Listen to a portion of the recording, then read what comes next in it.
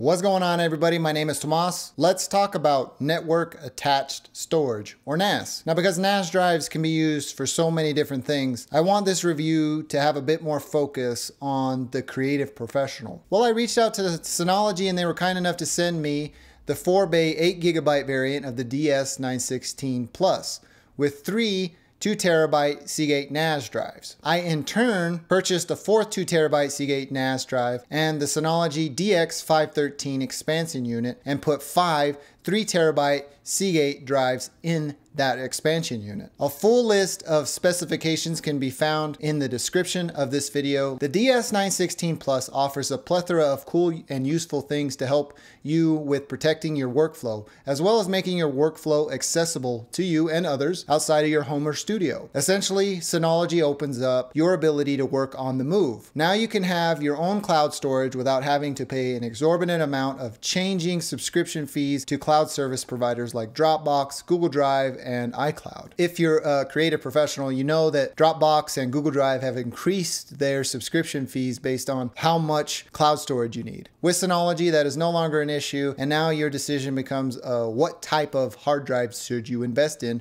or upgrade to. All Synology NAS drives run using DiskStation Manager.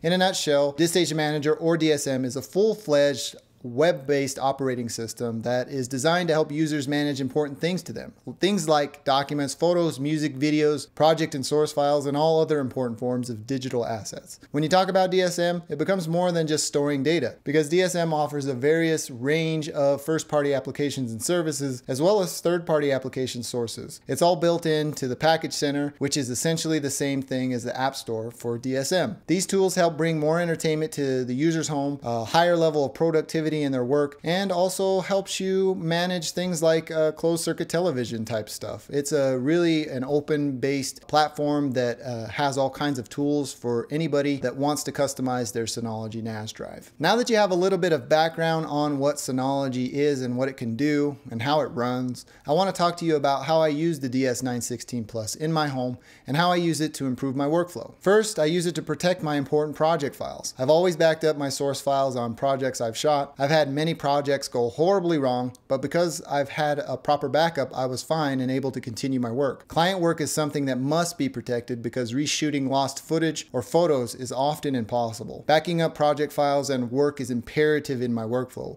It's not a question of if, but when will you lose data to problems. With the DS916 Plus, I'm able to set up time machine backups easily that continually run in the background while I work. And because of the speed and performance of the DS916 Plus, backups complete rather quickly. Now I've had experience with other NAS drives that don't back up so quickly and also consume a lot of CPU resources and it slows down my workflow. Speaking of speed and performance, I had a couple of burning questions when I was considering Synology for myself. My testing in this video is completely based on my LAN or local area network capacities and capabilities, and your results will vary based on your router that you have connected to the system. And also, uh, another fact is that I have the expansion unit connected in this testing setup as well. My home network setup has the DS916 Plus with the DX513 expansion unit connected to the newest Apple Airport Extreme utilizing both of the gigabit Ethernet ports. The first test that I ran was Blackmagic speed test and the results were a 20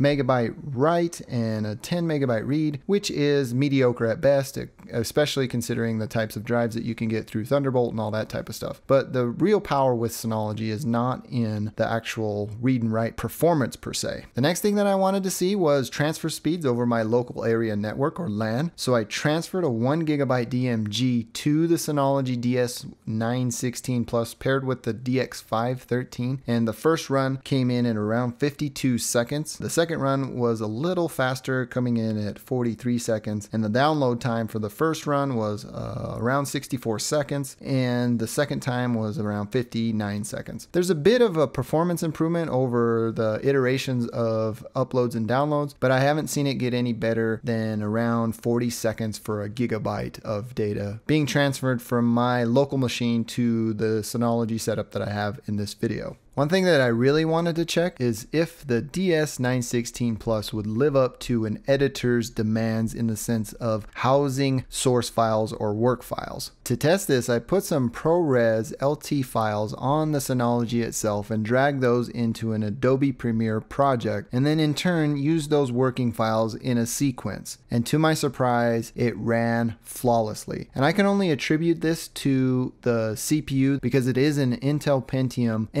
N3710 with a 64-bit architecture. It's a quad-core 1.6 gigahertz and has turbo boosting up to 2.56 gigahertz. So this NAS is more than capable of housing your working files and allowing you to work off of them, especially with uncompressed file formats. Now I didn't test this with compressed file formats, so the actual files that come off of your camera directly, but with Adobe's new ingest process where it allows you to work with proxies, I have no doubt in my mind that you can house all of your working files on the DS916 Plus and work off them no problem. Now that we have testing out of the way, I want to highlight some of the awesome things Synology has done for me. Just know that these things are by no means a comprehensive or complete list because management of your Synology device can be completely customized and set up in a ton of different ways, just all based on your needs.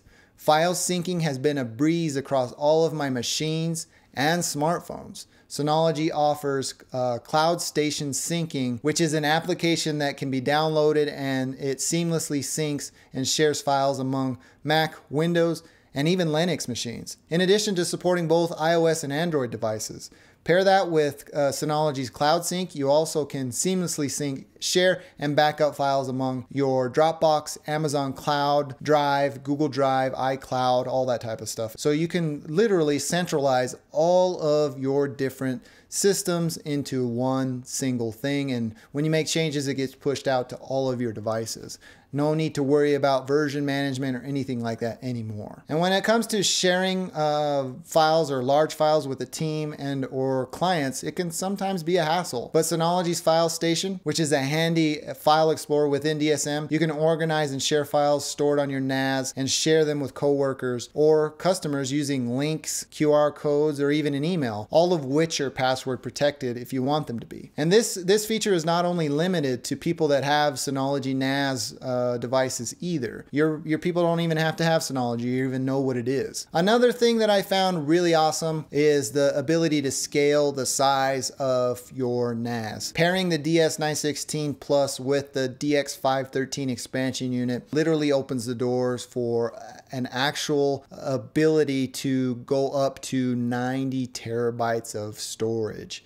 That's huge. And being able to go up to that amount of storage is just mind boggling. If you're an advanced user, Synology got you covered in DSM. If you're a uh, basic user. They have a whole bunch of help documentation to get you set up and going. And Synology's even developed uh, a certain RAID system in which your data is written efficiently across all your drives and is protected against drive failure. Now, one thing that really caught my eye is that even if you're writing to this proprietary designed RAID by Synology, you are able to recover your data even if you move away from Synology. Uh, some other NAS providers uh, out there do not allow you to recover your data data if the actual housing unit is destroyed or anything like that. That means that your data is recoverable and being uh, is able to be moved across to a different platform. So you can move away from Synology even if you use their proprietary RAID setup. And that's huge for me. That means Synology really has their customers in mind. One final thing that I found extremely handy uh, using the DS916 Plus paired with the DX513 expansion unit is the power management options and ability to schedule on and off times. For me, I do not need my NAS running during certain times of the night,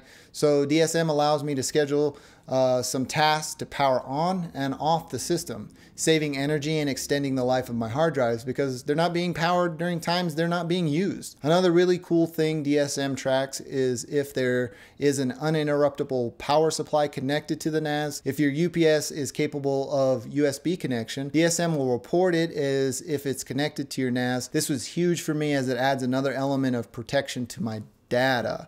Synology has really thought of pretty much anything a self-managed business or service provider may need of their NAS. This video only showcased a small segment of how the DS916 Plus can be used. I'm here to tell you Synology NAS systems are one of the most, if not the most adaptable and customizable NAS solutions on the market. If you're interested in seeing how the Synology fits into a smart home setup where it acts as a central hub for all your movies, photos, and music, Geeky Nerd Dad has you covered. So when you're done checking out Tomas's video, come by my channel, check out my video. I'll give you guys my take on the DS916 Plus.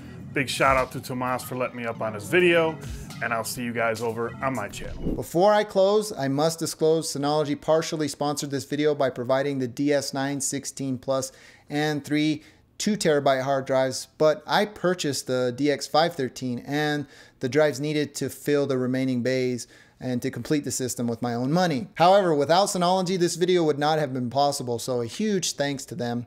Well, that about does it for me in this one. If you like this video, please feel free to give me a thumbs up. If not, hit the other one. Thanks for taking the time to watch. I'm Tomas, and I'll catch you in the next one.